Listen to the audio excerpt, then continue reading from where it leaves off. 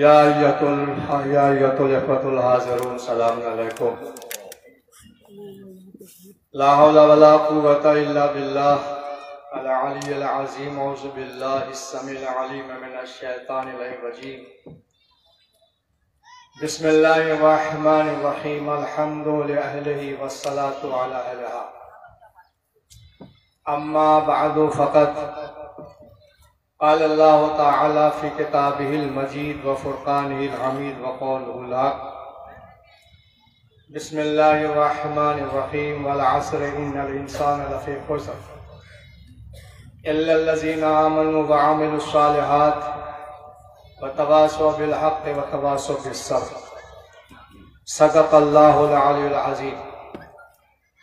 सबसे पहले आप तमाम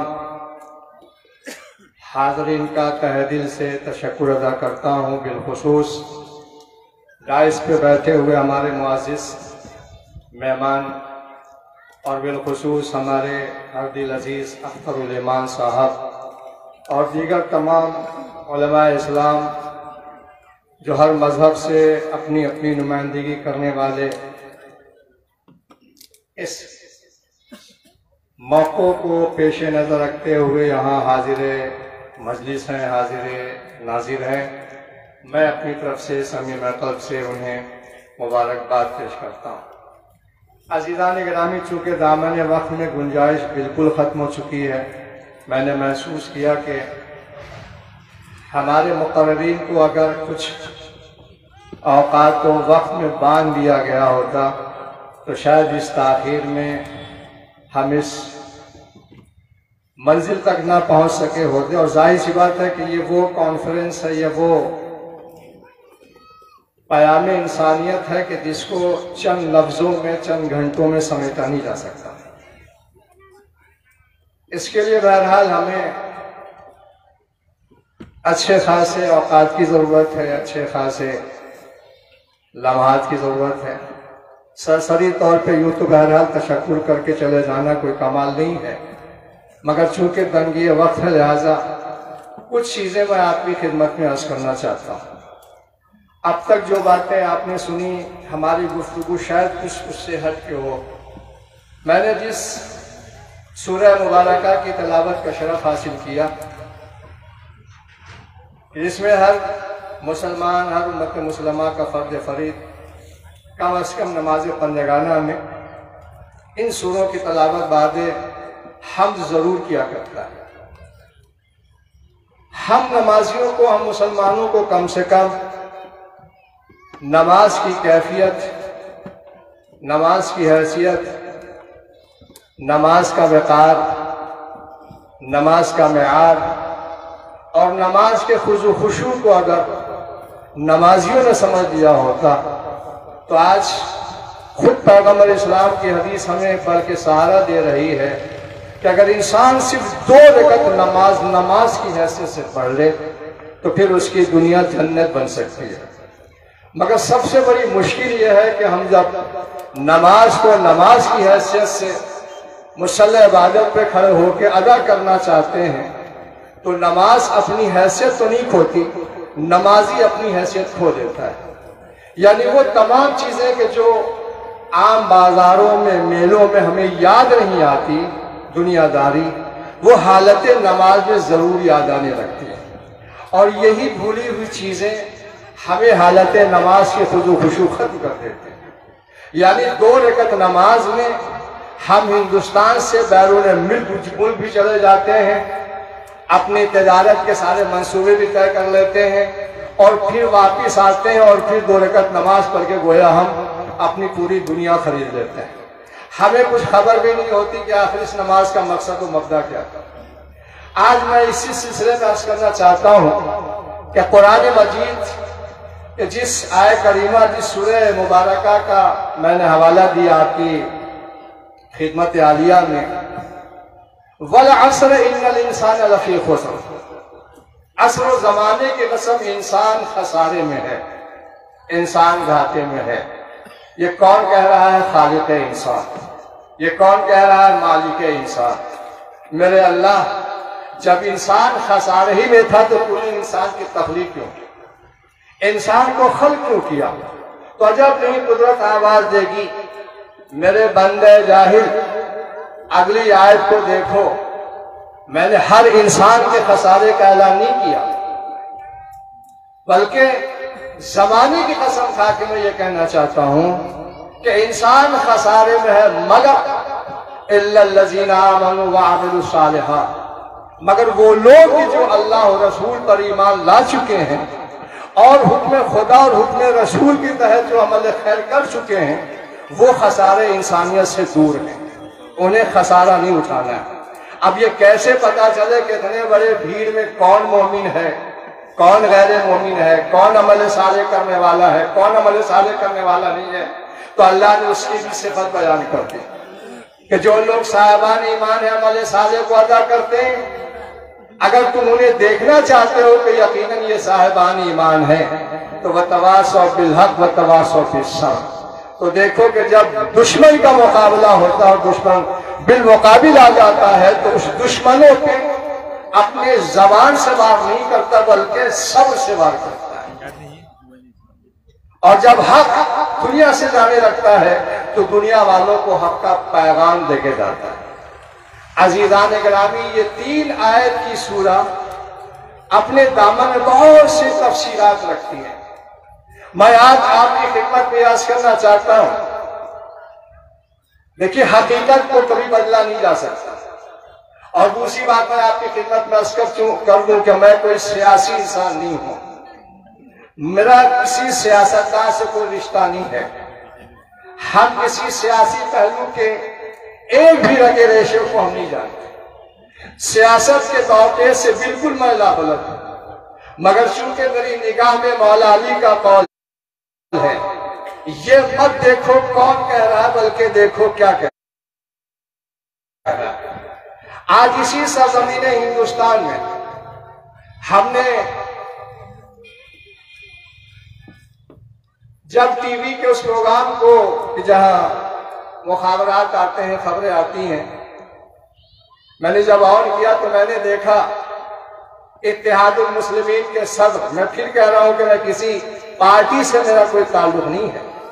मेरी पार्टी सिर्फ़ ला मोहम्मद रसूलुल्लाह की है, बस। मगर चूँकि बात अच्छी लगी, लिहाजा मैं आपकी खिदमत को ज़ाहिर कर रहा हूँ। एंकर ने सवाल किया, जनाब, आपने ये कैसे कह दिया कि हर पैदा होने वाला बच्चा फितरत इस्लाम पे पैदा होता है?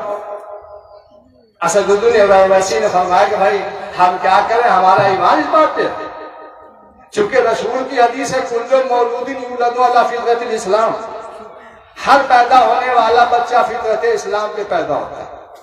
ये आगोश मादर है, या आगोश की तरबियत है कि पैदा होने वाला कभी हिंदू बन गया, सिख बन गया, ईसाई बन गया, नसारा बन गया, यहूदी बन गया, मुशरक बन गया। मगर सारी की सारी फितरत सबके अंदर एक ही जैसी पाई जाती है। आप देखें, अगर हम ये कहें कि साहब, वो उनका मज़हब या हमारा मज़हब, मैं कहता हूँ कि सबका मज़हब एक है, और उसी मज़हब का दूसरा नाम फितरत है।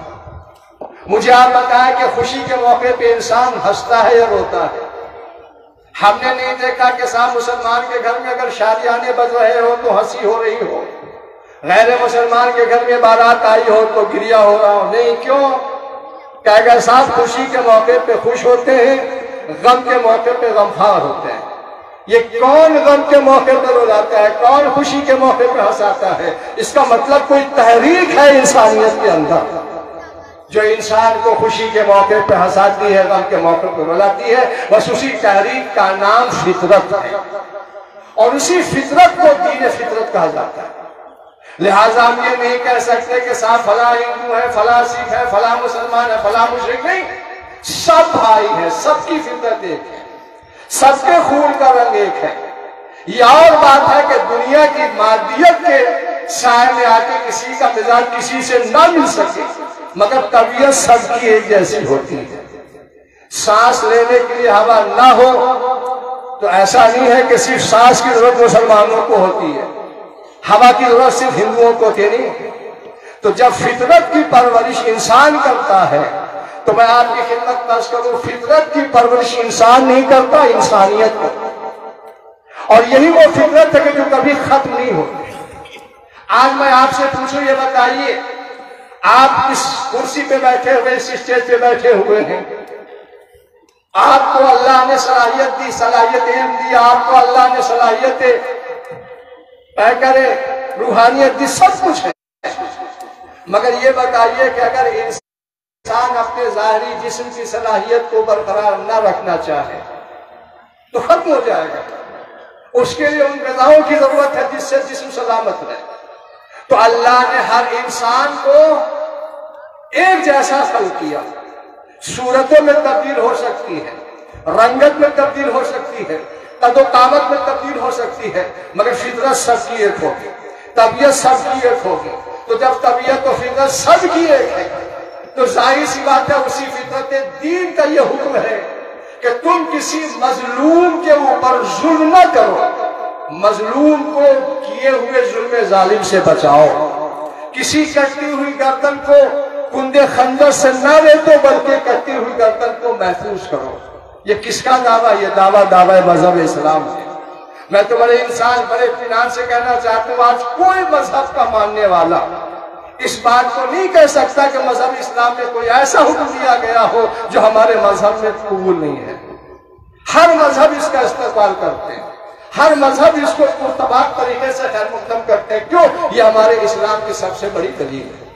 अब मैं बहुत ही आहिस्तगी से एक बात मैं आपकी खिदमत में अर्ज़ करूँ, चूँकि मेरा बहर हर वक्त मैंने फिर अर्ज़ किया, करना चाहता था कि मुझे वक्त चाहिए था, मगर चूँकि मैं जो कुछ कहना चाह रहा था, वो नहीं कह सका। याद रखिएगा, हज़रत आदम से लेके आज खातम तक, आज किसी भी इंसान से पूछेगा कि हम आदम की औलाद मगर मैं कहता हूँ कि हम आदम की औलाद नहीं, हम आदम की भी औलाद है नू की भी औलाद है, इब्राहिम की भी औलाद है, आल इब्राहिम की भी औलाद है।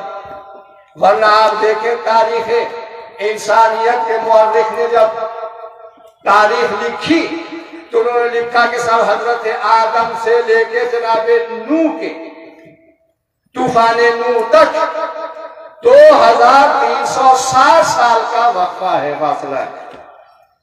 और जब पाँच सौ साल के जनाबे नू थे तो तूफ़ान नू आया।